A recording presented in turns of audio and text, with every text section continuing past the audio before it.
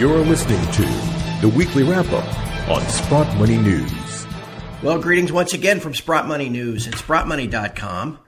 It is Friday, December the 8th, 2017. This is your weekly wrap up. I'm your host, Craig Hemke, and joining us as usual this morning is Eric Sprott. Eric, good day. Hey, Craig, happy to be with you. Uh, not a very great week for us. Uh, more of the same, and uh, let's start talking about it. More of the same. That definitely sounds. Uh, that's going to be the refrain we hit here. I, I think uh, basically as we begin to wrap up. But as we begin, I want to point out, of course, it is December. We are getting close to the holiday season. Do not forget that your perfect gifts for your loved ones can be found in the 2017 holiday catalog from SprottMoney.com. It's on the site. Go there and check it out. Eric, um, another. I guess we've only seen this uh, what maybe a thousand times big buildup in speculator long positions that uh, the, the cartel, the, the bullion banks hold price at a key technical indicator like the 200 day moving average. They finally smash price through there, and then the flush begins, and here we are again. Sure. And I, I did read on your website, actually, uh, the article you did about that, and I uh, totally concur with it. And that's really the odd thing that uh, we never seem to be able to get that uh, large short position down. And uh, it just shows that they have control of the market. They can move it at will. There's never really, you know, it's not associated with any in particular, and it wouldn't matter whether the dollar was going up or down or whatever, uh, whatever their purpose is. Uh, they get there, and and I guess I sort of subscribe to the thesis in the article that you wrote on your own website that. Uh, once they can cover this, we probably will find a tradable low here. Uh, it was interesting that the stocks were kind of hanging in yesterday with uh, with that big decline in the gold price, and that's typically a sign that you know the people know that the turn is coming. So let's hope that it comes. Uh, now, when you look back, it's been horrible the fact that um, we've lost all our gain in silver. I mean, how you know, I think we've gone all these 12 months, we've lost all our gain. It's uh, it's been tough, but uh, we have things that will happen here shortly that I think uh, can change things rather quickly. Yeah, and to that end, I know it's frustrating to see silver flat on the year, actually down now, a couple, a couple, maybe one percent. Um, I want to, I want to kind of run this past you though. Uh, you know, we've, we we know silver, the whole above ground stock is maybe, well, if it's sixteen dollars an ounce, we're talking sixteen billion dollars. And I want people to think about the massive capital rush that's gone into Bitcoin just in the last month or so.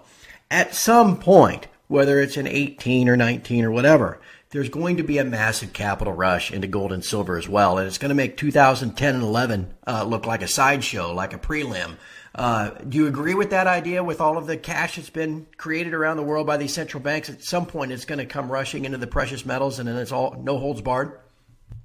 Absolutely, and in fact, to that end, I mean, there's been some studies. I think by the it was by the New York Fed suggesting that inflation isn't two percent; it's more like three, which I both think both those numbers are a joke anyway. Um, but I think people can sense it. It's the sloshing of money around that's moving things, and therefore, uh, physical commodities uh, would share in that. And of course, there's there are analogies between gold and Bitcoin in the sense that the Bitcoin owner doesn't like uh, fiat currency, the Bitcoin owner doesn't like commercial banks, and I think that those are both things that uh, most of us precious metals owners own. Uh, I've said before uh, on this program that uh, uh, when some of these people decide that they're going to cash in their bitcoins, where are they going to put their money? We're talking about large amounts of money now. You know what we got? We we're up to 400 billion, or maybe even bigger than that, in uh, cryptocurrency. So some people are going to be selling here. They're going to look for a place to put it. It won't take much to uh, to move things around in the precious metals market because it's a pretty tight market right now. Uh, we haven't even got into what's going on in the COMEX in the sense that all these contracts that get pushed over to London all the time, and they're huge amounts every day. I mean, it's almost inexplicable that uh, that that they could actually get those deliveries in London. But so anything can can sort of blow this thing up at any time. Yeah, it certainly seems that way. And again, we are, in a, in a sense, just repeating the same pattern of the last couple of years, Eric. We've got tax loss selling in the shares, uh, pushing the HUI and, and the other GDX down to lows for the year. And we've also got this washout in both uh, the speculator positions in both gold and silver, driving them down to lows. But again, it's just like 15 and 16, where the lows came in immediately following the Fed meeting that raised rates Is there any reason in your mind why 2018 can't then begin just as the same way 16 and 17 did?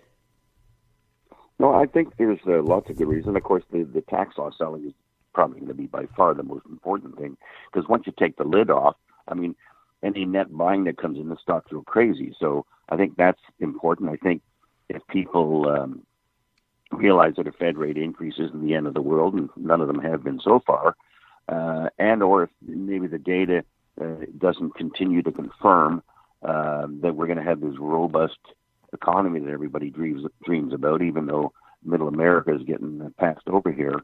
Um, that yes, it, again after the rate increase, uh, gold I would think on on odds on favor is going to go up from here. So, and of course the thing about the stocks is they can rally so hard. I mean, I think it was two years ago we saw what 160 percent rally in about four or five months. So that was uh, pretty spectacular. And uh, I don't remember the extent of this year's rally. You probably do better than I do, but uh, there were lots of stocks that were, were running real fast at the beginning of the year. Well, and and I would say there's I've been trying to warn folks on my site this week. You know, it's kind of like Bitcoin. You know, if you weren't buying it back when it was fifty dollars or five hundred dollars, probably not too excited about buying at five thousand, and you've missed this little run that it's had or tremendous run that it's had. And the same thing could be said for the stocks and for the metals, right? We saw that in 2016, that huge run to begin the year of uh, two, three hundred percent. But a lot of folks missed it because they were too afraid or scared out of the market uh, at those lows in December of 15. I mean, you could make the same case here. Now you got to be in to win, right? And there's so many other events going on in the world that can change the outlook for gold so quickly. I mean, I just think of this whole Middle Eastern thing and the utter chaos going on over there. I look at the the chaos in the political situation in the U.S. It's oh, it's just there's so many things that all of a sudden could break. There was the fact that the, the, the Bank of Japan and, and the and the EU pull back on their buying of uh, securities. Wow, can, can things change? quickly? We saw, for example, the the equivalent of the FANGs in China fell 10% in the last two weeks. I mean, this market can break at any time here, and I, I think uh, I see you know see all these studies where, you know, the only thing that's happened in the last few years is multiple changes because earnings really have hardly improved at all. Um, so you know, it's we're in a very vulnerable stock market and bond market for that matter. So we could easily see huge shifts of money uh, that would would uh, find precious metals to be quite rewarding.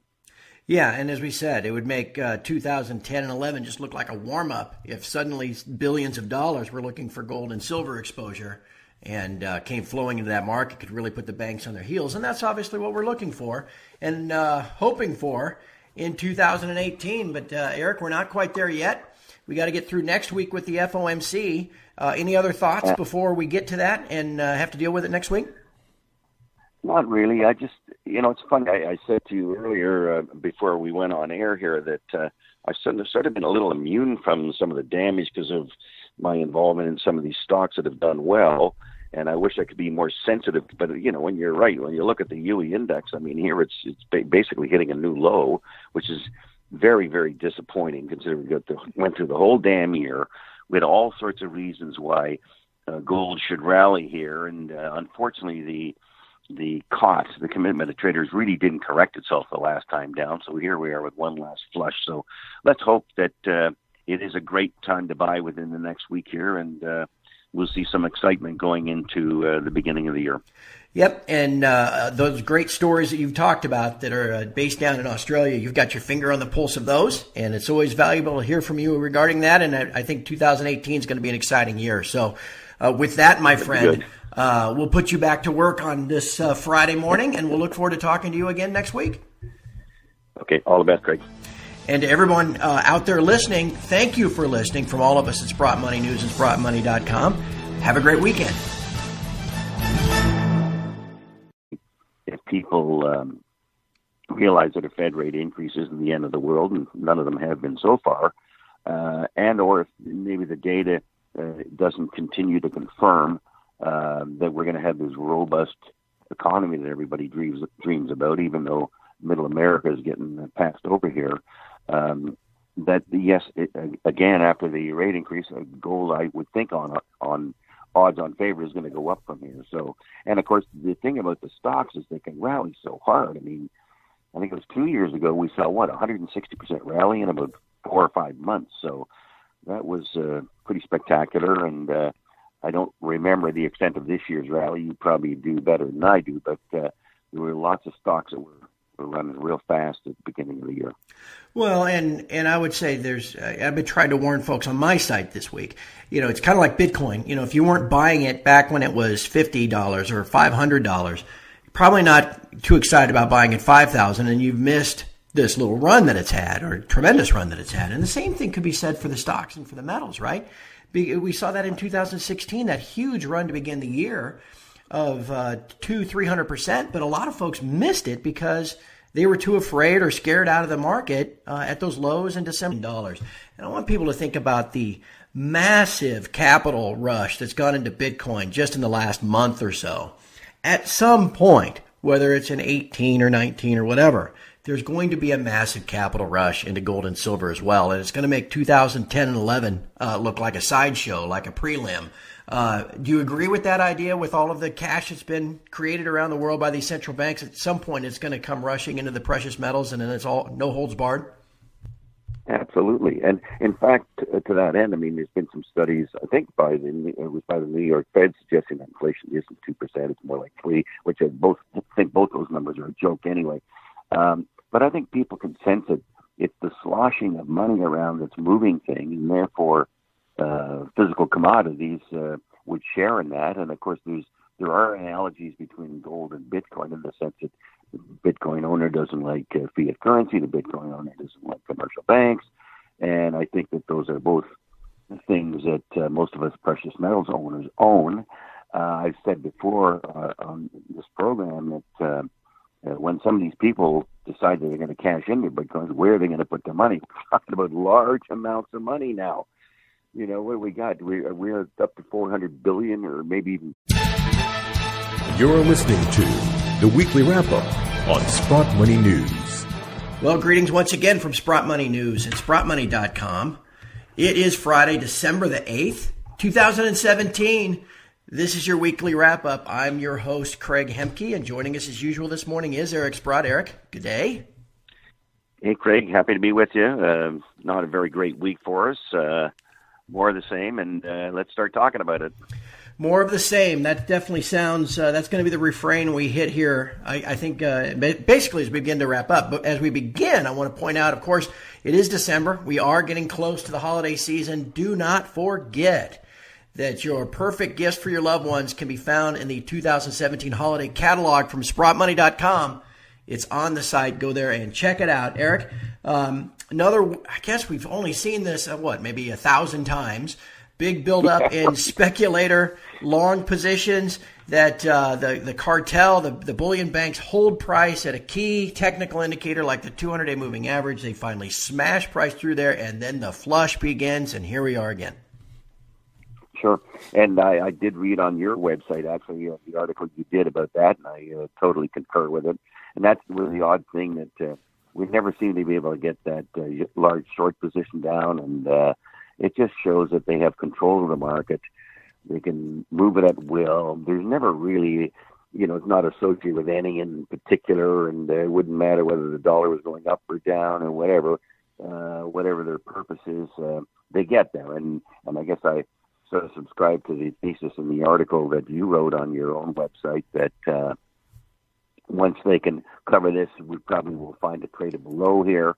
Uh, it was interesting that the stocks were kind of hanging in yesterday with uh, with that big decline in the gold price, and that's typically a sign that you know the people know that the turn is coming. So let's hope that it comes. Uh, now, when you look back, it's been horrible the fact that um, we've lost all our gain in silver. I mean, how you know, I think we've gone all these 12 months, we've lost all our gain.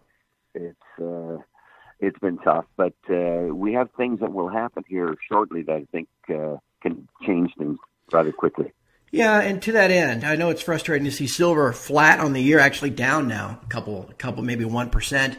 Um, I want to, I want to kind of run this past you though. Uh, you know, we've we, we know silver, the whole above ground stock is maybe, well, if it's $16 an ounce, we're talking 16 billion. Bigger than that in uh, cryptocurrency. So some people are going to be selling here they're going to look for a place to put it. It won't take much to, uh, to move things around in the precious metals market because it's a pretty tight market right now. Uh, we haven't even got into what's going on in the COMEX in the sense that all these contracts that get pushed over to London all the time, and they're huge amounts every day. I mean, it's almost inexplicable that uh, that that those, they could actually get those deliveries in London. But so anything can can sort of blow this thing up at any time. Yeah, it certainly seems that way. And again, we are, in a, in a sense, just repeating the same pattern of the last couple of years. Eric, we've got tax loss selling in the shares, uh, pushing the HUI and, and the other GDX down to lows for the year.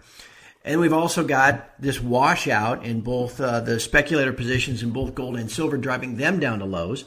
But again, it's just like 15 and 16, where the lows came in immediately following the Fed meeting that raised rates. Is there any reason in your mind why 2018 can't then begin just as the same way 16 and 17 did? No, I think there's uh, lots of good reasons. Of course, the, the tax law selling is probably going to be by far the most important thing because once you take the lid off, I mean, any net buying that comes in, the stocks go crazy. So I think that's important. I think